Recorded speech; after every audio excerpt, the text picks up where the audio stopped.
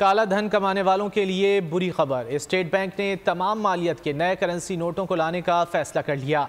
Design का framework शुरू कर दिया गया है। मार्च तक मुकम्मल होने का इम्कान है। मुल्क में काला धन कितना? किसी को नहीं है पता। जाली नोट भी असली जितना। कैसे है इन सबसे बचना? स्टेट बैंक ने सबका तोड़ निकाल लिया। दस, बीस, पचास, सौ, पाँच सौ, हज़ार और पाँच हज़ार। सारे नोट तब्दील होंगे। तब्दील से मुराद ये नहीं कि नए नोट मिल जाएँगे। तमाम मालियत के नए करेंसी नोट आएँगे। आलमी सिक्योरिटी फीचर्स होंगे। रंग तब्दील, सीरियल नंबर तब्दील, डिज़ाइन भी तब्दील होगा। और तो और ये खबर सुनने के बाद काले धन वाले और जाली नोट वालों के चेहरे चेहरों का रंग भी तब्दील हो चुका होगा। स्टेट बैंक तो इस पर काफ़ी अरसे से काम कर रहा था। तमाम नए नोटों के डिज़ाइन का फ्रेमवर्क शुरू हो चुका है जो मार्च तक मुकम्मल हो जाएगा। मार्केट में 500, 1000, 5000 के जाली नोट जेरे गर्दिश है जिससे सब परेशान हैं। सब्सक्राइब करें और बेल दबाएँ ताकि कोई खबर रह न जाए।